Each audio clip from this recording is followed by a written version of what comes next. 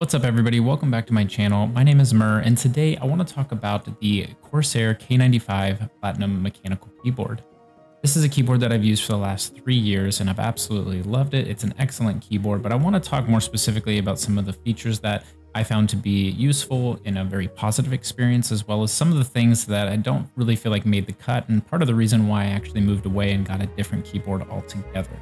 Now, some of the things that I really like about the keyboard is that first off, it has these macro keys over here on the left, which I found to be most useful when using shortcuts, closing out a tab or reopening your last closed tab, or using it during video editing processes or things that I use for like creativity. The only thing that I found to be kind of difficult was for a lot of gaming, you can't really assign the macro keys because uh, Windows doesn't input them into a format that the game recognizes. So you actually end up having to reassign the keys using software.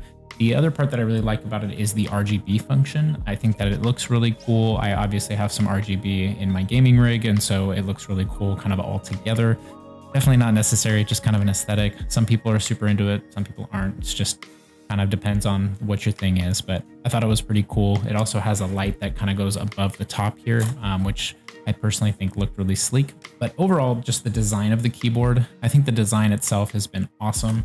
I love that it has like a little USB plugin right here. This is extremely useful with cord management. So this made it really, really useful. I always used it for my mouse. The other part about the design that I really like is actually the, the wrist rest, I guess we'll call it.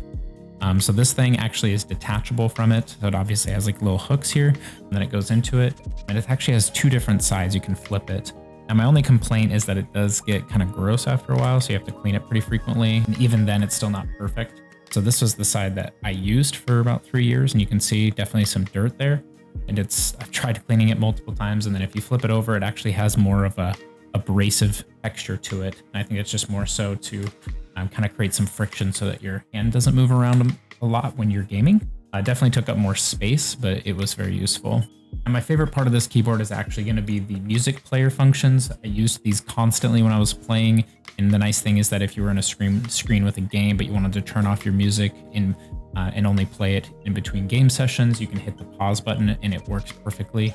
Turn down the volume overall or turn it up when you need to, mute any sound you needed to as well. I didn't really find that as useful, but just having the, the player on the actual uh, keyboard is extremely nice and I used it way more than I thought I was going to. The keys over here are going to be for the profile. We've got lighting, so it's going to have brightness levels on it.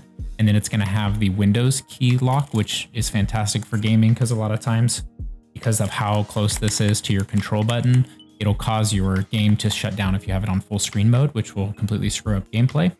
Now, one thing I didn't even realize until I recently looked up some other reviews on the Corsair K95 is that it actually has internal storage on the keyboard itself, which probably adds to a little bit of the expense of the device, but it actually has um, internal storage for the profiles to have on it. I think it's up like eight gigabytes. And so that allows it to be able to run without the software of iCUE, which is Corsair software to be able to um, update this program. And but the nice thing is that means that you can plug and play with it. And also you don't have to worry about the keyboard not working without the software being connected to it. And then overall, uh, the experiences that I had with Corsair support, this is a piece I like to bring up just in case there's ever any problems. I've only had nothing but positive experiences with Corsair's customer support personally, but that's also because I completed my warranty registration when I got the products just because they were so expensive. I wanted to make sure if anything ever happened to them, they were covered. I didn't have any issues with my keyboard ever to a point where I needed to replace it, but I did with my mouse that I got, the Dark Core SE RGB and I had nothing but problems with that device. They were able to replace it multiple times when they were unable to fix it. I just like to call that out because a lot of companies, it's kind of difficult to work with. Their process was super easy.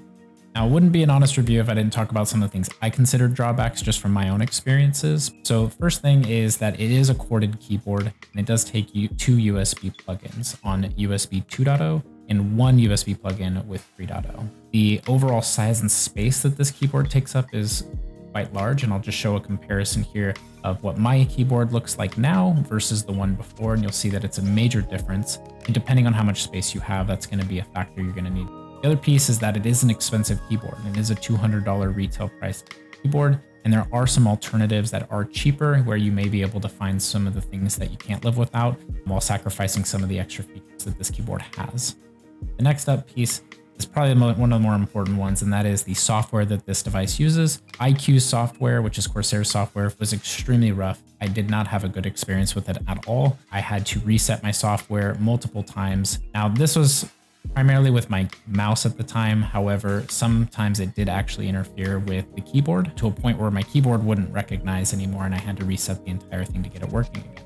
Now, granted, I didn't have to do any kind of software support where I needed to get it replaced. I was able to get them fixed. Another thing to think about is how much you care about the cleanliness of the wrist rest because it can be a little bit annoying. I didn't like showing people my setup when I saw how bad this looked. Another thing about the keyboard is it is a mechanical keyboard, so the key presses are going to be extremely loud. So if you're in a space where it needs to be a little bit more quieter, or you, are in a room where you share it with other people, it may get annoying to them. And then lastly, I think that there were some unnecessary benefits for the keyboard to have. Macro keys, as nice as they sound, um, can be very difficult to be able to get set up properly. But once you do, they can be great. But because of how much of a hassle I had with them, I ended up not being able to use them the way that I wish that I was able to originally. Number pad section is really nice if you do some kind of data entry or you're using this for work.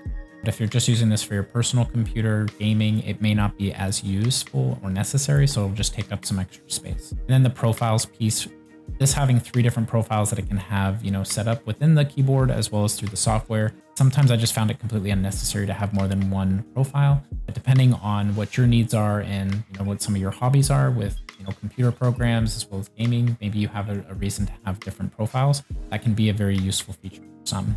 All right, now let's go ahead and just kind of measure this thing overall. The K95 Platinum keyboard has a pretty amazing quality. It's got loads of extras and the company support is extremely strong. Those are probably, you know, top tier from my experience personally. Some things in the middle is that the design is just that the size and space real estate that this thing takes up for me definitely knocks a few points on it. But if those are things that you need, it may not be a big issue. For me, it just made it kind of a, still a good quality. what's the value? And for me, this is about mid tier. It's $200 and $200 is a lot of money to be forking out for a keyboard um, for anybody. I just got to say that, you know, you can find probably 80% of these features for half the price. And if you find it on sale, that pretty much beats the value So that would be my recommendation personally. But what I'll go ahead and do is I'll link this product down below. The only reason I wanted to bring this review to you guys because I used this for three years and I think the K95 Platinum is a solid keyboard, and I wanted to make sure that you guys knew, you know, fair and honest exactly what to expect from it. I hope this was helpful for you. Like, subscribe, comment below any questions, concerns, or anything you'd like to add from your own experience. And I'll see you guys in the next one.